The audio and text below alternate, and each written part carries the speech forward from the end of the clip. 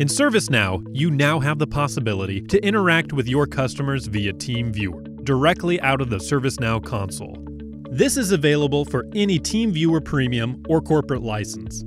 To do this, the supporter expands the TeamViewer remote control options below the incident information. He then clicks on Create Service Case. A separate window then pops up. Before he can start the support session, the supporter has to connect ServiceNow with his TeamViewer account and grant a few permissions.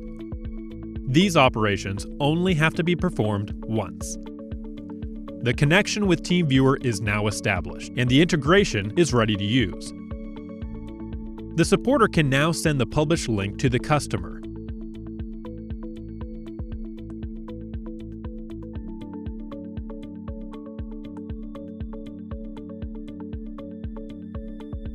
He then simply clicks on Start Session to initiate the remote control session. The full version of TeamViewer will start.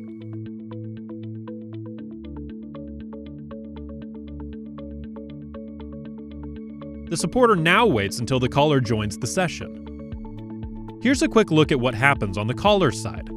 The caller receives the link via email from the supporter.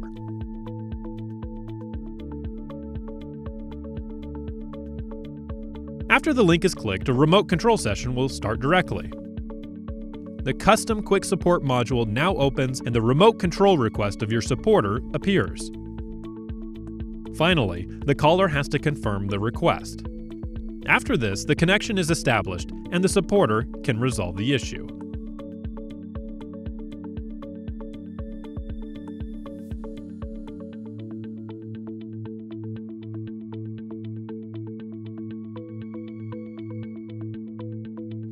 After the issue is resolved, the supporter can close the service case.